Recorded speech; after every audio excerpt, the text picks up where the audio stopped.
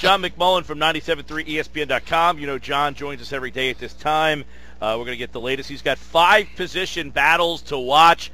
I'm really intrigued by the article at 97.3 ESPN.com because uh, it seems like there's a lot of position battles out there. John's got five of them that are jumping out to him, and there's something that I want to get into as well. Uh, we talked to Derek Gunn earlier, Pete, about Lane Johnson. Mm-hmm. I'm going to get John's take on that as well. And, uh, of course, John joins us now on the Sports Bash 97.3 ESPN. John, you got position battles, but you've got some under the radar ones that I think are really good to look at. And one of the things when you look at position battles is sometimes position battles make good stories, but how much is the winner going to play? And that is what uh, some of these position battles come into here. And uh, I think you got an interesting one to start off. Chris Pantale against Dillon Gordon.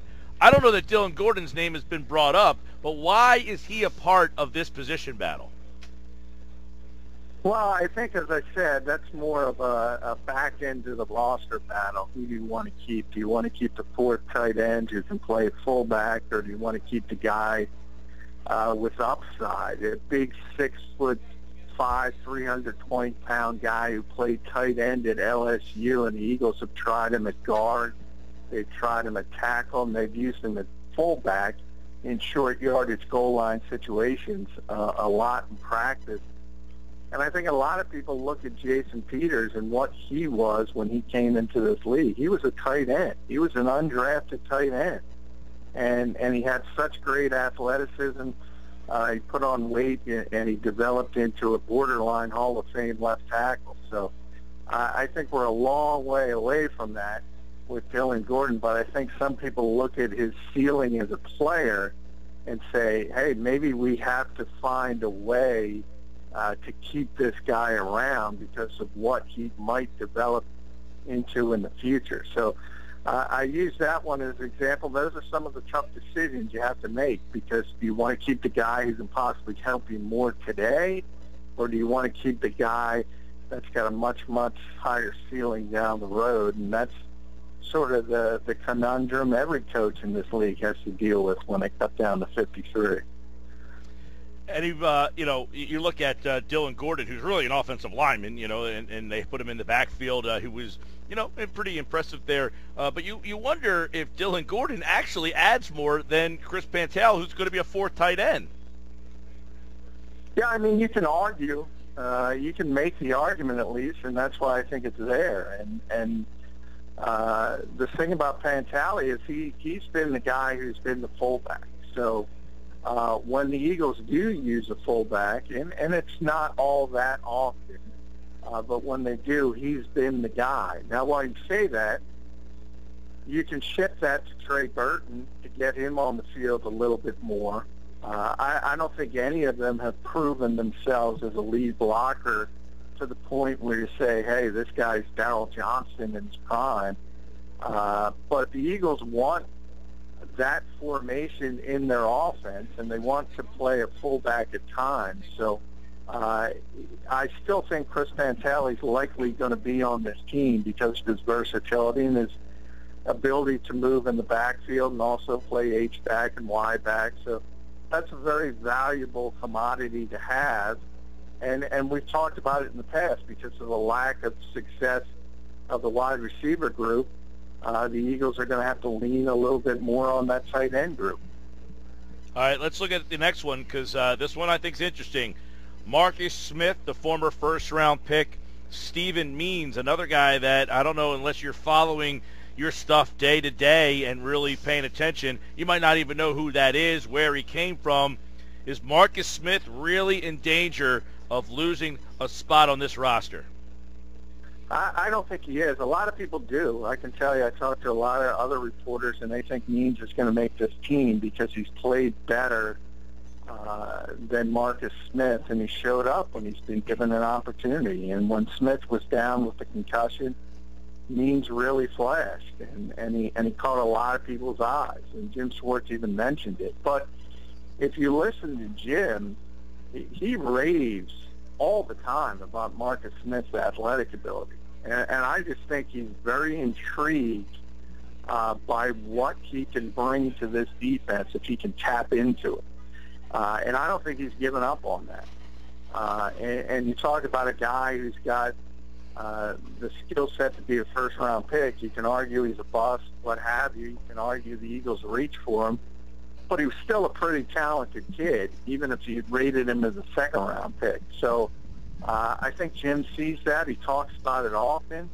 Talks about his athleticism. He talks about this defense, and he's got a lot fewer responsibilities than he did as a linebacker in the three-four. His responsibility now is basically go get the quarterback. And if there's one thing Marcus Smith can do, it's go straight ahead uh, and get around the edge. So I, I think Jim, as I said, is intrigued by that, and I don't think he's going to give up on it at this point. John, do you think Marcus Smith has talent? I mean, does he have the ability to help at all? Well, he's got talent. I mean, everybody in the NFL's got talent. I, I, that's just the reality of the situation. I mean, you're if you're on an NFL roster, you're good. It's just a matter of are you good against the other NFL players? And obviously, to this point, he's not been. You can't argue that. Uh, but I, I think he was playing out of position under Chip Kelly, uh, and he's not a read and react player. He had trouble uh, sort of uh, keying and diagnosing, and that's what you're required to do in a two-gap system. Now he's in a one-gap system, uh, where, as I said, he basically has one job. Jim Schwartz points at the quarterback and says, go get him. And the one thing Marcus Smith has is speed, athleticism, and, and, and that's the strength of his skill set, and that's what he hopes to utilize. John McMullen's with us. We're talking five position battles to watch for the Eagles as they get ready to play that all important third preseason game on Saturday night against Indianapolis. And of course, you can hear that right here on 97.3 ESPN FM. Now, about the linebacker position, John, you write about them and uh, write about uh, Quentin Gause versus Myke Tavarres. Of course, Stephen Tulloch, the name on everybody's mind right now, but that's what puts those two guys in your mind into the uh, battle position battle.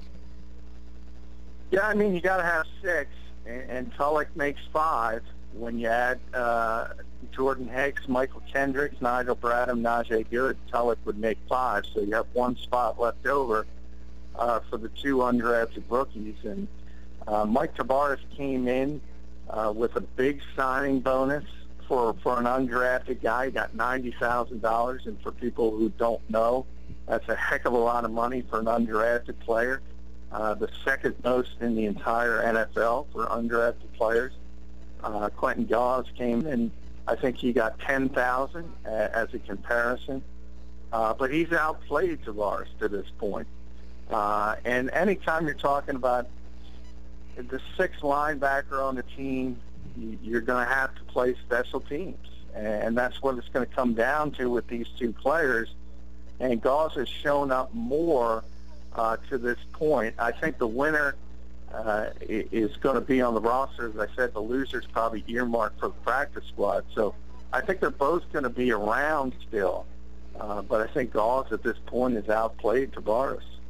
And then staying at linebacker, John, what are the chances that they look outside the organization, and what are the chances that there's somebody available for them to from somewhere else?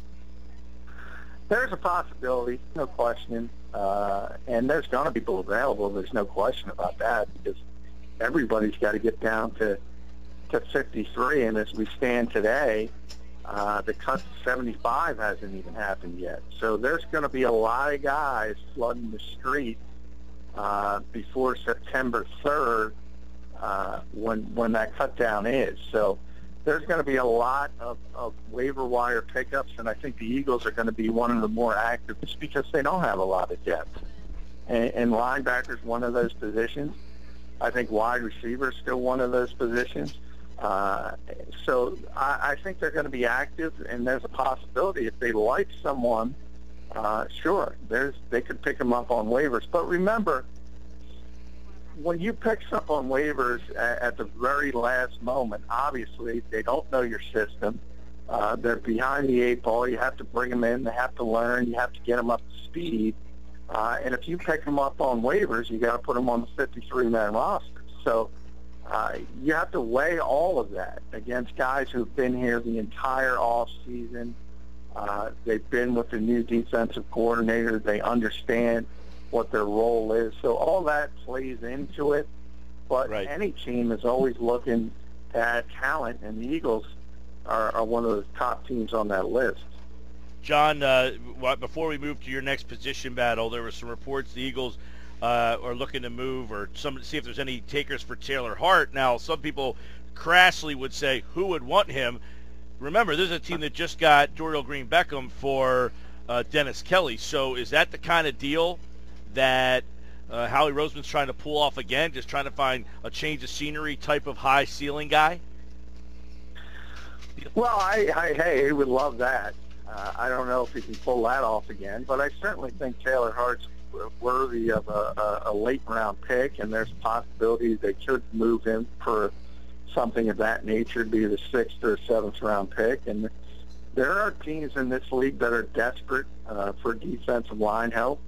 Uh, and and he's more of a five technique guy. He's more of a three four guy.